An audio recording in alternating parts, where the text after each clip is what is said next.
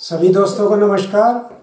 दोस्तों, आज इस एपिसोड में मैं आपको जवाहर कट काट के बताऊँगा, जिसको लोग सदरी भी बोलते हैं, बंदी भी बोलते हैं, जैकेट भी बोलते हैं। दोस्तों, कुछ नाप ऐसे होते हैं जो छाती से पेट ज़्यादा होता है, शोल्डर बहुत ज़्यादा डाउन होते हैं। ये तो एक नेचुरल बात है, अगर छाती से पेट एक इंच भी ज़्यादा है तो उसके शोल्डर थोड़े बहुत डाउन मिलेंगे। और अगर ज़्यादा है तो ज़्यादा शोल्डर डाउन मिलते हैं। आज ऐसे ही एक नाप पे मैं आपको ये जोहार कट काट के बताऊँगा। आप इस एपिसोड को ध्यान से देखना, पूरा देखना, आसानी से आपकी समझ में आ जाएगा। तो चलिए एपिसोड शुरू करते हैं।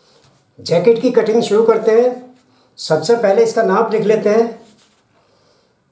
लंबाई अट्ठाईस। अट्ठाईस लंबाई। अड़तीस छाती, बयालीस पेट, चार इंच पेट इसका हम ज़्यादा रखेंगे। बयालीस पेट, अठारह तीरा, और इसका गला सोलह इंच इसका गला रखेंगे। ये मेज़रमेंट हमने लिख लिया, इसी मेज़रमेंट पे हम ये सदरी काटेंगे।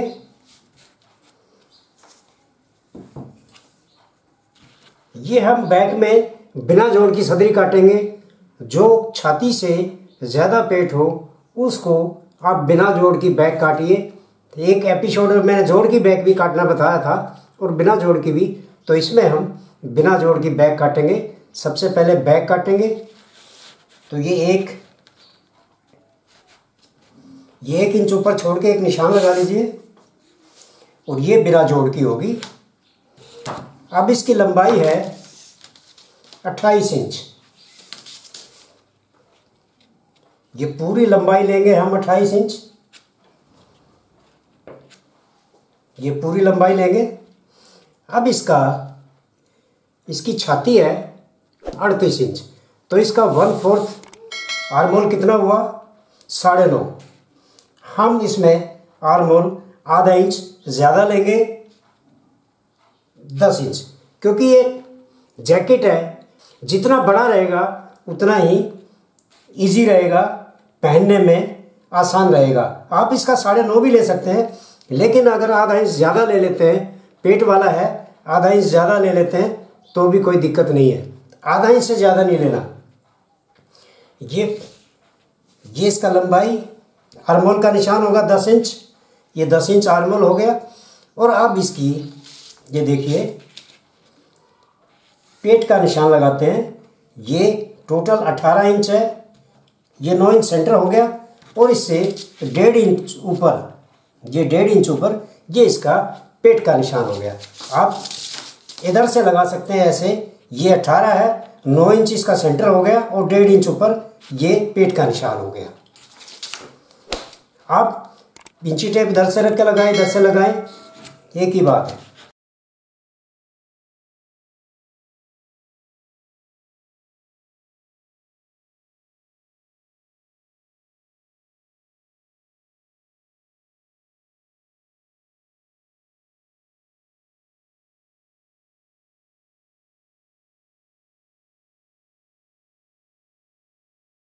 अब इसका गला सोलह। सोलह इंच गले का पांचवा हिस्सा कितना होया पाँच दिए पंद्रह, तीन, सवा तीन के करीब। सवा तीन, आधा सूत। ये इसका गले का निशान हो गया। एक इंच हम टीक का निशान लगाएँगे और ये हमारा, ये ये टीक हो गया। ये हमारी टीक होगी आप इस निशान से थोड़ा सा नीचे ऊपर ना लें, इससे थोड़ा नीचे ले लीजिए, इस निशान से। इस निशान में भी आप निशान लगाएँगे तो भी कोई दिक्कत नहीं है। अब इसका तीरा है अट्ठारह इंच। तो अट्ठारह का ये कितना हो गया? नौ इंच। ये नौ और आधा इंच का मार्जिन, यानी साढ़े नौ। ये साढ़े नौ। इसमें आप मार्जिन ना भी रखें तो भी कोई दिक्कत नहीं है। उस क्योंकि इसमें बाजू तो चढ़नी नहीं होती और शोल्डर पे अगर मार्जिन आप ना भी रखेंगे तो भी कोई दिक्कत नहीं है। मैं आपको बिना मार्जिन के ही बताता हूँ, ये तीरा अठारह है तो ये नौ इंच, ये नौ इंच आप रखिए। और यहाँ से हमने डाउन करना देखिए, ये शोल्डर डाउन वाली है, पेट ज़्यादा है चार इंच तो इसका हम शोल्डर डाउन वाली काटेंगे। तो शोल्डर डाउन हमें कितना करना है? ये जो हमारी टीक है, ये जो हमारी टीक है इससे हमने ढाई इंच शोल्डर डाउन करना है। ये देख, यहाँ आप शोल्डर डाउन का पहले निशान लगाइए और उसको फिर यहाँ लगाइए। ये ढाई इंच हमने यहाँ से शोल्डर डाउन करना है। अब इसको निशान लगा लीजिए शोल्डर डाउन का। ये शोल्डर डाउन का निशान हो गया। ये हमारा शोल्डर है नौ इंच।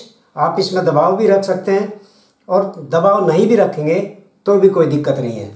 अब इसको हम यहाँ से इस शेप में अब यहाँ से हमने शोल्डर लिया है नौ इंच अब क्रॉस बैक इसकी कितनी लेंगे? एक इंच कम। ये आठ इंच इसकी क्रॉस बैक होगी। तो ये क्रॉस बैक का भी निशान लगा देते हैं। ये इसी शेप में हमने क्रॉस बैक का निशान लगाना है। इसी शेप में। अब इसकी छाती है अड़तीस। अड़तीस का वन फोर्थ कितना हो गया? नौ इंच। साढ़े नौ इंच। ये साढ़े नौ इंच प्लस एक इंच का हम इसमें दबाव रखेंगे मार्जन रखेंगे। पेट कितना है? बयालीस। बयालीस का वन फोर्थ कितना हो गया? साढ़े दस। ये साढ़े दस और एक इंच का मार्जिन। इसका पेट ज़्यादा है, इसलिए हिप का मेज़रमेंट लेने की ज़रूरत नहीं है। अब हम, ये जो यहाँ का जो निशान है, ये जो निशान है, इसी शेप में लगाएँगे। इस शेप में या इस शेप में लगाएँगे, ये देखिए। ये ऐसे लगाएँगे। यहाँ, ये साढ़े दस है, साढ़े दस का ही ये निशान लगाइए आप। और एक इंच ये शेप ये हमने स्केर से भी लगा सकते हैं, पट्टी से भी लगा सकते हैं। आपने सीधा लगाना है तो स्केर से ही लगाइए।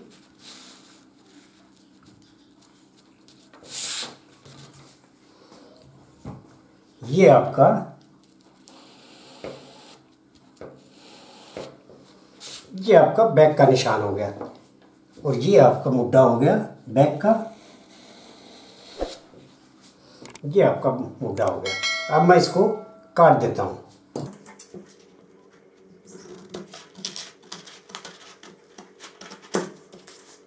ये देखिए, मैंने यहाँ पे टीक जो है ना, ये इस निशान के निचले भाग से शुरू की है। ये जो टीक काटी है, ये निचले भाग पे काटी है।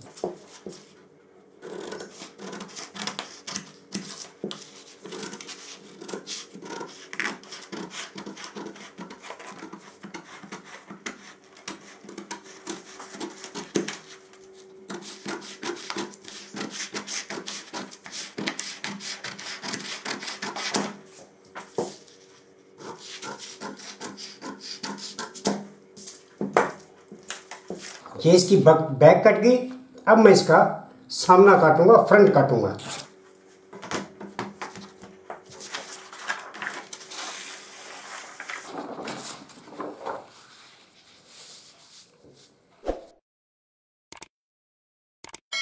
ये बैक के निशान उठा लेते हैं।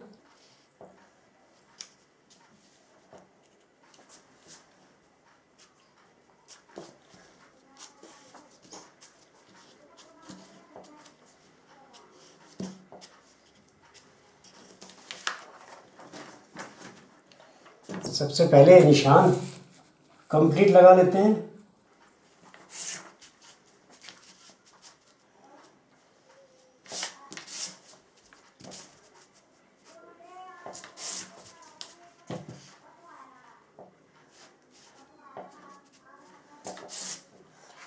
ये निशान हमने कंप्लीट लगा लिए। अब हम इसकी ये एक इंच लंबाई ज़्यादा रखेंगे सामने की बैक से। तो इसको हम ये ऐसे सीधी लगा लेते हैं।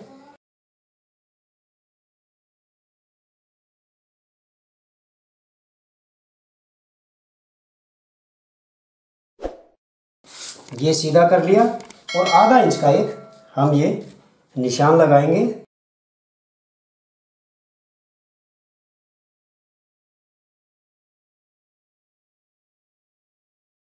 इस निशान पे हमने कटिंग करनी है। दोस्तों आज बस इतना ही। बाकी जवाहर कट की कटिंग मैं अगले एपिसोड में आपको बताऊँगा।